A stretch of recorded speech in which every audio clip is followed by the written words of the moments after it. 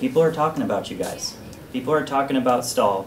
Mr. Kennedy, he's thinking about you guys every single day. So you need to know that you're in really, really good hands, right? We just need to we need to change the perspective, right?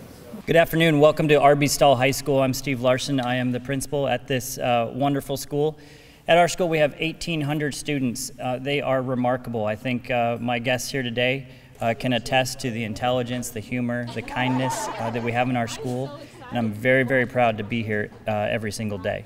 So it is really a pleasure to welcome um, the new Secretary of of Education for the state of South Carolina to uh, Charleston. So welcome, uh, uh, Ms. Weaver. And uh, it was uh, quite an honor to have you uh, visit Charleston County School District, as I believe it's your first visit to a school district in your new tenure. So thank you for that.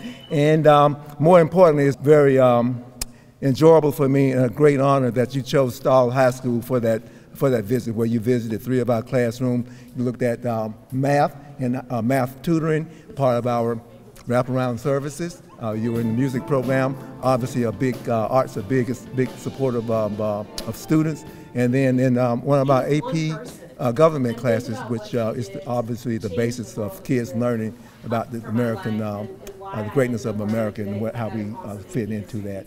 Um, what a joy to be able to kick off my tenure as State Superintendent of Education in an incredible place like RB Stall. There's so much history here um, and so much opportunity. When I think about the students that I have been called and elected to serve, I think about students all over this state who are sitting in classrooms who need the opportunity of a great education and who thankfully are, are getting it here at Stall. It's really amazing what I saw in the classrooms today. And, and I'd like to, to really focus on the idea of leadership.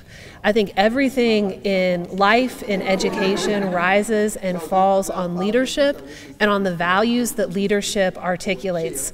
Um, it was wonderful to spend time with Principal Larson today talking about the cultural values at his school, cultures or values of, of kindness and accountability and expectations. Because, like Principal Larson, I believe that every child has God given potential and that it's our job within the education system to provide the tools that they need to realize that full potential. And so when I think about what it's going to take to transform education in South Carolina in some of our challenged schools and some of our challenged areas, I believe it all starts with great leadership. And so how are we going to support the principals that are building the culture in the school in which great teachers want to work?